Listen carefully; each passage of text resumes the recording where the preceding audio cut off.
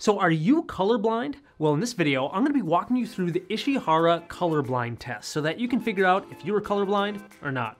Let's take a look.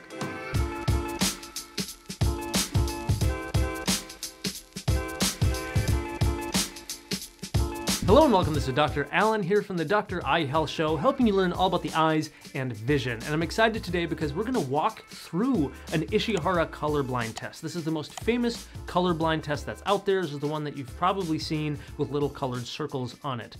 But this is gonna be cool because we're gonna, one, show you really test if you have color blindness and then furthermore give some idea of what type of color blindness you may have. Now, color blindness as a topic is pretty complex, so I have included this video in a complete series about color blindness. So if you want to learn more about the science of color blindness, how it gets passed down genetically, or if you want to hear more about different colorblind glasses that are out there, I've included this video again in a complete series and I'll include that link in the description below so you can find it easily.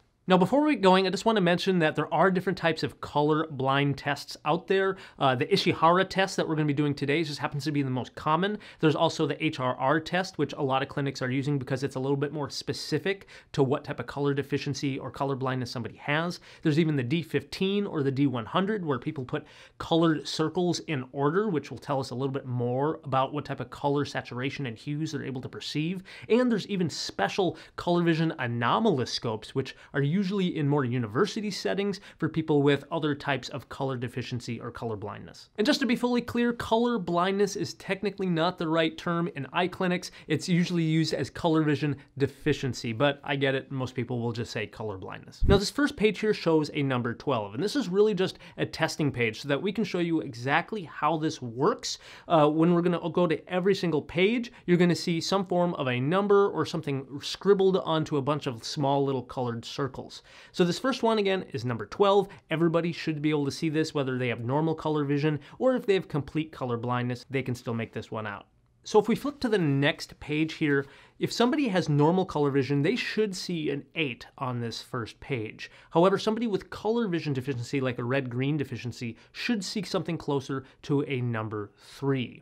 And then on the other adjacent page, you should be seeing a 5 if you have normal color vision. And then again, somebody with some sort of red-green deficiency will see something closer to a number 2 hidden in there.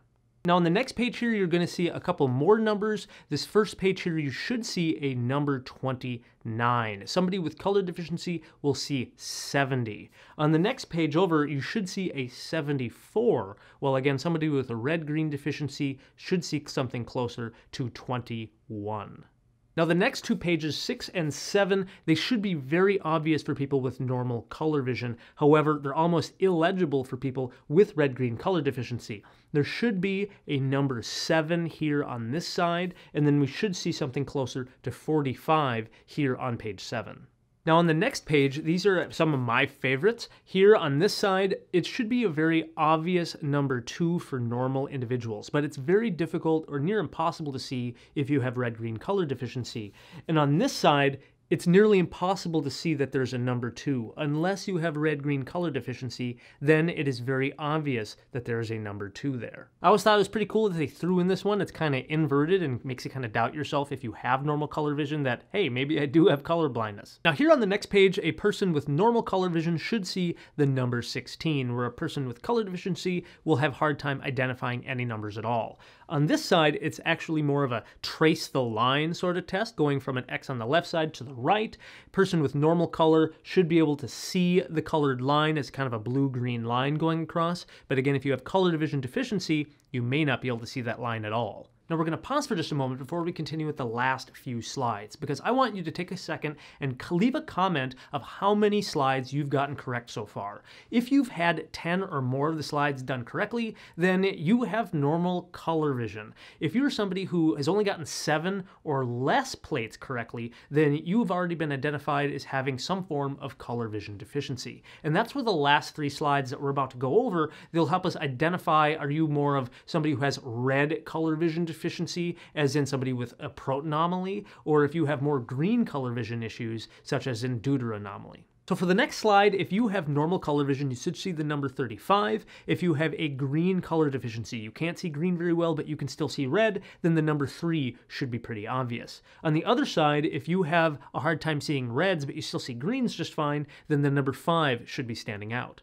But just here on the other side, it's going to be very similar. If you see normal color vision, it's going to be a 96. If you have some form of red color vision deficiency and you can only see green, the 6 will be obvious. Where if you do the opposite and you have a hard time seeing green colors but you see red just fine, the 9 should be pretty obvious. And the next plate here is another line drawing test where a person with red color vision deficiency will only be able to see the line here at the bottom, where a person with green color deficiency should only be able to see the line here at the top. Now before we go, let's try something fun. We're gonna look through some of these plates, but while wearing Pilestone colorblind glasses, and I'm gonna hold them up so that you can see through them, and I've heard from some people that with a filter, such as colorblind glasses, they can actually see these colors. And if you have a color deficiency, let me know if you can see these colors all of a sudden. Okay, so the Pilestone brand of colorblind glasses comes in different strengths. This type is specifically meant for people with severe types of protan or deutan colorblindness, and we'll actually just flip through some of these pages.